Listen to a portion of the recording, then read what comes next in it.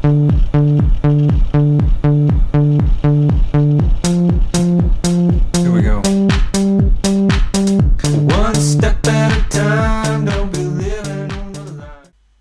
this video lesson, I'm going to explain why the supply curve slopes upwards. In a previous lesson, we introduced the concept of supply, the law of supply, and the determinants of supply. It was explained that there is a direct relationship between a good's price and the quantity that firms are willing and able to provide to the market in a particular period of time. This is known as the law of supply. What was not explained in that video, however, was the rationale behind the law of supply.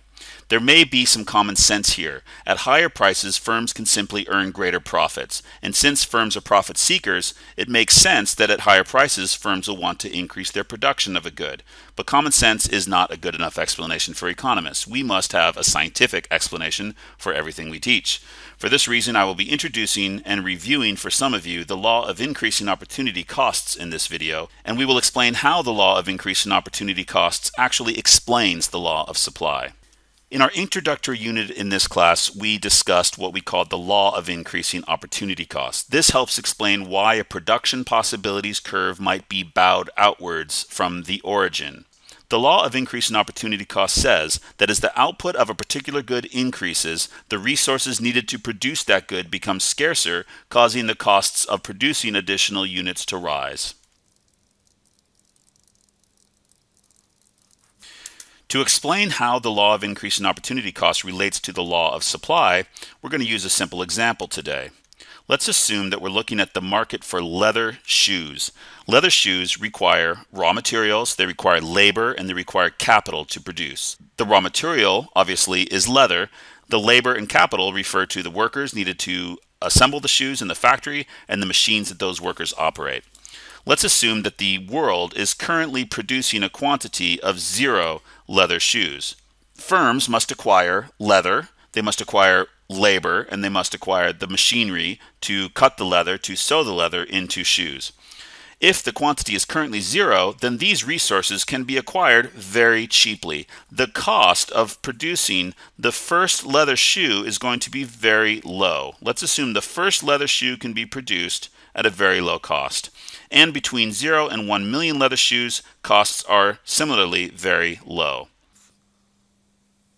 Again, the reason costs are low as leather shoe production begins is because the resources needed to produce leather shoes are very abundant. And as we learned in our introductory unit, price is a reflection of relative scarcity. If resources are relatively unscarce or abundant, then the price of those resources is relatively low.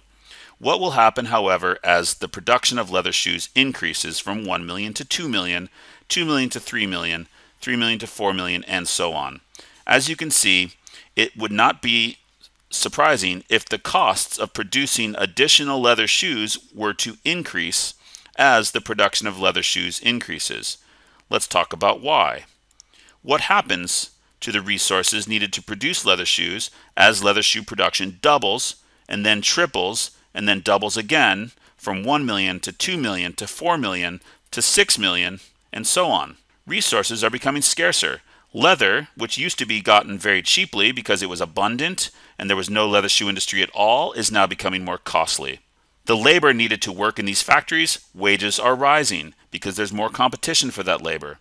The machinery, the sewing machines, the cutting machines needed to manufacture leather shoes, there's more competition for them, there's more demand for them, therefore the costs of these machines rise and the costs of producing additional leather shoes increase. As output rises from 0 to 1 million to 3 million to 5 million to 8 million pairs of leather shoes, costs of additional leather shoes increase due to the increasing scarcity of the resources needed to produce leather shoes. As we can see here, what we end up with is what we call an increasing marginal cost curve. Marginal is another word for additional. So the marginal cost refers to the cost of additional units of a good to the producers of that good. The relationship between the quantity produced of a particular good and the marginal cost of producing that good is direct. As output increases, marginal cost increases because the resources needed to produce the good become increasingly scarce. Hence, their prices rise. Now, what does this have to do with the law of supply? Well, you may have noticed that the upward sloping marginal cost curve looks an awful lot like a supply curve. So if we looked at the vertical axis not as the cost of producing leather shoes, but as the prices of leather shoes, and we put a particular price on here, we can answer the question why a firm would only be willing to provide a certain quantity of leather shoes at a particular price. Let's put the price of P1 on our graph. The question I have is, how many leather shoes would firms be willing to provide at the maximum at a price of P1? Would producers be willing to provide, say, 6 million leather shoes? Let's have a look at a quantity of 6 million and a price of P1, we can see that the cost of producing 6 million shoes is actually much greater than the price of P1.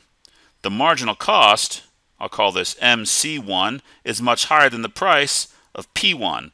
What does this mean for the producers?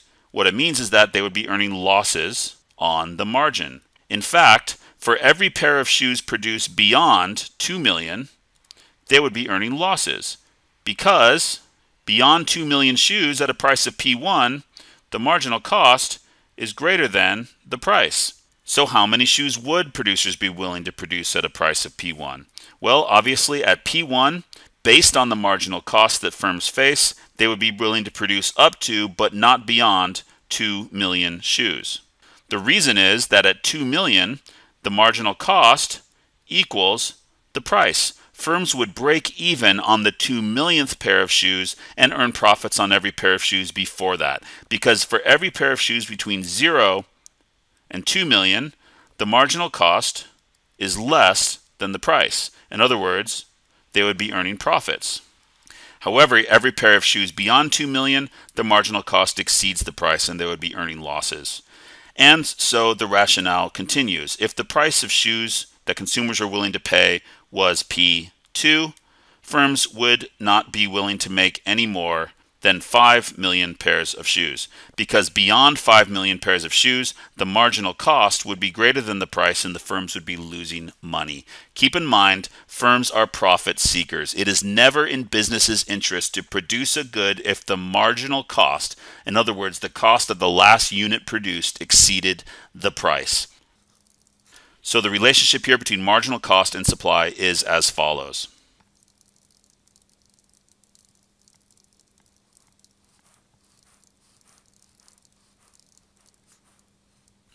Combining the relationship between marginal cost and supply explained here with the information shared in our previous video on supply, including the definition of supply, the law of supply, and the determinants of supply, we now have a complete picture of why the supply curve slopes upward and what can cause a shift in the supply curve.